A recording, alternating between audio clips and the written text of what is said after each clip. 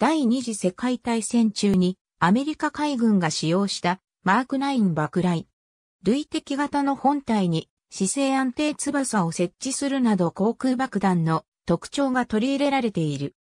前後のリングは爆雷投下機上での運用に対応するためのモノ爆雷は水中で爆発する水雷兵器の一種で水上艦艇や航空機から海中に投下して先行中の潜水艦を攻撃する。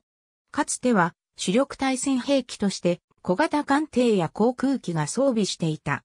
第二次大戦後は対戦魚雷やそれを投下する対戦ミサイルの登場によって主力兵器ではなくなったが、機雷の処分や警告用など補助的に使われている。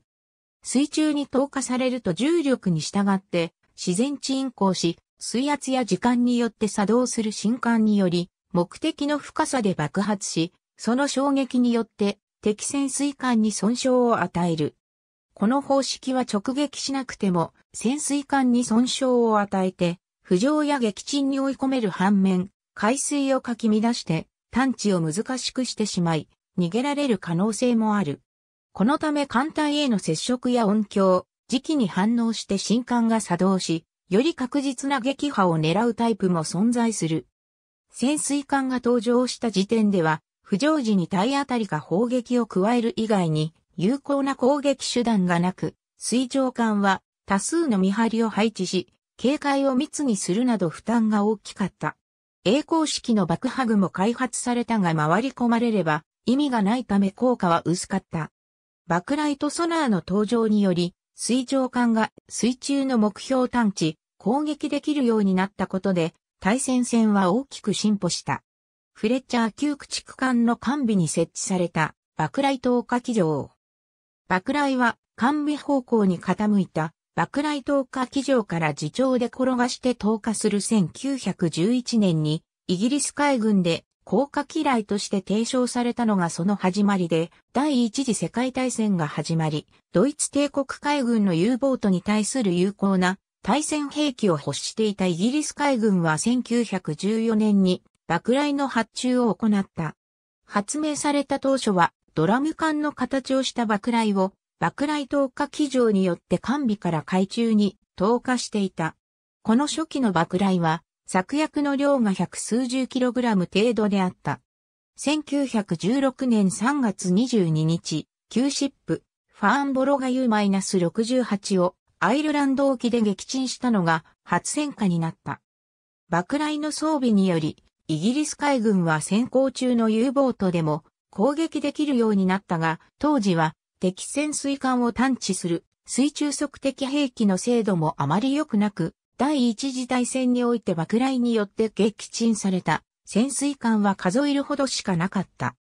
日本海軍は1921年にイギリスの爆雷と爆雷投射機を購入して81式爆雷投射機として正式化したものを神風型、無月型駆逐艦に装備したのが始まりである。片弦用爆雷投射機アームの先端部に搭載されたドラム缶状のものが爆雷第二次世界大戦が始まると爆雷投下機場と並んで1930年代までに各国で実用化された爆雷投射機が実戦で使われた。これは投射用に少量の火薬を用い、爆発ガスによって時間から離れた原則方向へと爆雷を投射するもので、水上艦の鉱石上から外れた海中にいる潜水艦も攻撃することが可能になった。艦の守備線方向から見た正面形状から片弦用の投射機を警砲、両弦用の投射機を Y 砲と呼ぶ。投射機を用いた爆雷戦では散布パターンを作って投射するようになった。従来のドラム缶状の爆雷は沈降速度が毎秒数メートルしかなかったために目標への到達時間が長くかかり、また水中での向きが定まらないまま沈んでゆくので沈降速度にばらつきが生じ、潜水艦に効率的に打撃を与えることが難しかった。そこで沈降速度の向上と一定化を図るため、形状を流線型にして細くなったビブにフィンをつけた爆雷が登場した。これによって沈降速度は毎秒十数メートル程度にまで向上し、撃沈される潜水艦が飛躍的に多くなった。爆雷は水中で動作するため、爆発位置と目標艦との間の距離が離れると破壊力の減衰が著しい。そのため作薬の量や性能の向上は重要であった。第二次大戦中、作薬は TNT 火薬からトーペックスとなり、また、イギリス海軍の爆雷 MKX は作薬の量が 900kg を超えた。第二次世界大戦の中頃までは、爆雷は艦艇の後方に投下していたが、水上艦艇と潜水艦の運動性能に開きがあり、また、投下直前にソナーを壊さないようにソナーを止める必要があったので、最後は潜水艦の位置を推測で投下する必要があり、命中率は指揮者の経験や勘に左右され効率が悪かった。このため、イギリス海軍は対戦前投げ兵器の発明を進め、多連装小型爆雷、ヘッジホックや爆雷投射砲、スキット、リンボーといった前方に投射できる爆雷システムが対戦中期以降相次いで登場し、ヘッジホックはアメリカ海軍にも導入されて、連合国海軍は対独、対日の潜水艦狩りで大きな戦果を挙げた。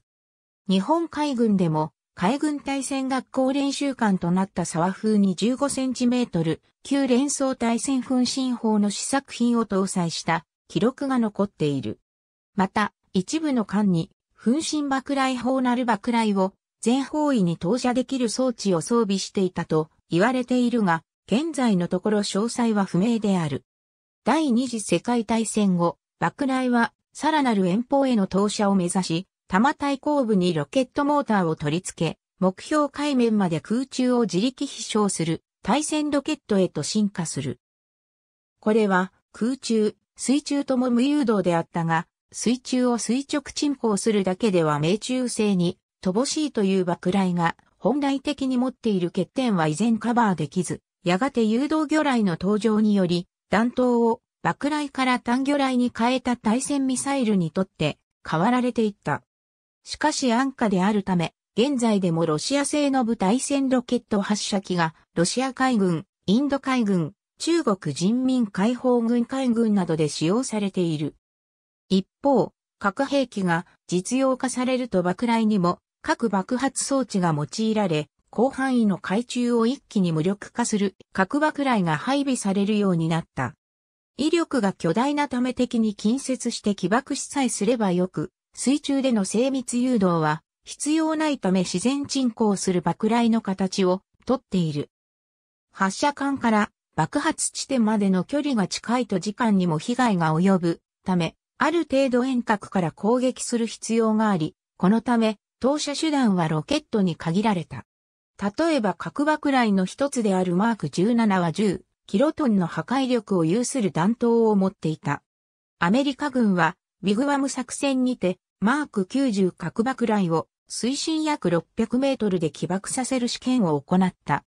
アメリカ海軍は冷戦終結後に海上配備戦術核が廃止されたために核爆雷は配備されていない。対戦ミサイルの項も参照。現代でも用いられている爆雷としては航空機が搭載する航空爆雷、機雷の爆破処分に用いる処分用爆雷などがある。また、小型の潜水艇に対処する必要がある海軍では、爆雷が単魚雷、対戦ロケットなどと併用されている。平時において、外国の潜水艦に領海を侵犯されても戦争につながりかねない撃沈ではなく、警告により退去を促すためにあえて、エルマ対戦迫撃砲のような小型の爆雷を装備している国もある。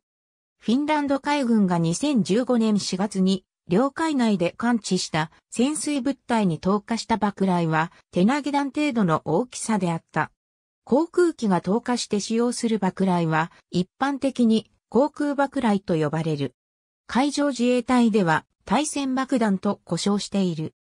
第二次世界大戦までは航空機の装備する対戦兵器の主力であったが、現代では対戦ミサイルや対戦魚雷などの誘導兵器が主流であり、爆弾層のスペースを誘導兵器に割り当てるため搭載数を減らしたり、廃止した国が多い。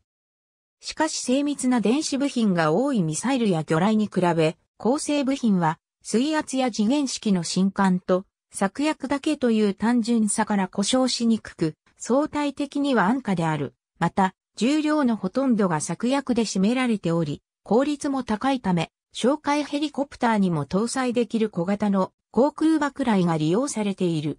魚雷が利用しにくい沿海域では潜水艦だけでなく水上目標にも有効である。